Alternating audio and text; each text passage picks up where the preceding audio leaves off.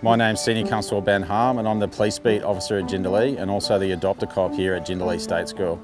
I've been the Adopt-a-Cop here at Jindalee for about nine years. So my main role is to enhance the relationship between local police and the school community. I do a number of things through the year. We run a cyber safety program with the kids. Uh, we also run a bicycle safety program with the year fours and we also do a walking bus or a walk to school program trying to get more kids uh, actively travelling to school.